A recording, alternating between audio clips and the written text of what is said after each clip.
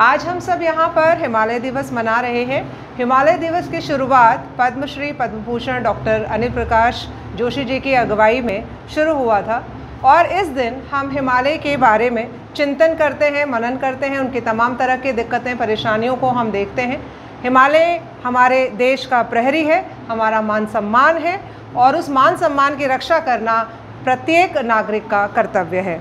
तो आज हिमालय दिवस के अवसर पर हम सब मिल करके संकल्प लेते हैं।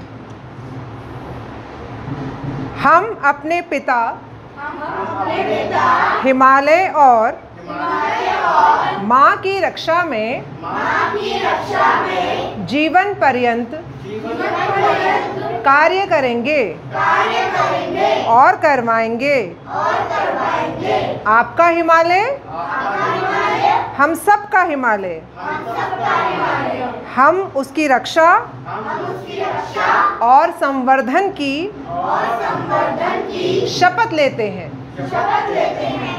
तो हम सब हिमालय की रक्षा करेंगे, उसके बारे में हम सोचेंगे, क्योंकि जिस तरह से ग्लोबल वार्मिंग बढ़ रही है धीरे धीरे ग्लेशियर पिघल रहे हैं और ग्लेशियर जो है वो झीलों में तब्दील हो रहे हैं, जो आने वाले समय में पर्यावरण के लिए एक बहुत बड़ा खतरा हो सकता है।